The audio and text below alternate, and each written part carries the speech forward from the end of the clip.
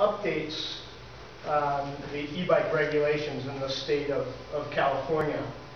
And it was a result of um, a coordinated effort between the Bicycle Product Suppliers Association and People for Bikes and uh, the California Bicycle Coalition.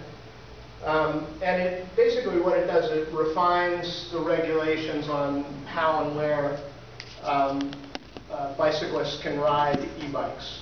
Um, and it modernizes the regulation in the state. Uh, California was one of the very first states that in 2002, when a federal definition of a low-speed electric bike was introduced, uh, adopted the vehicle code in an attempt to accommodate it.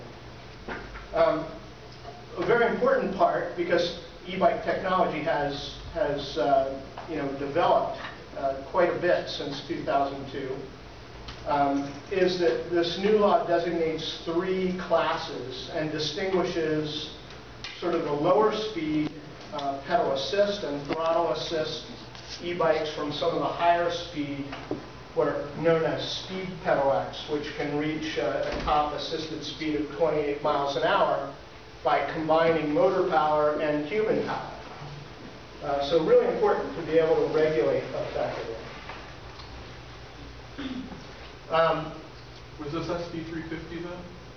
I'm sorry? Was that SB 350? No, it was AB 1096. 1096. 1096? Yep. Sorry, I, All right. it's been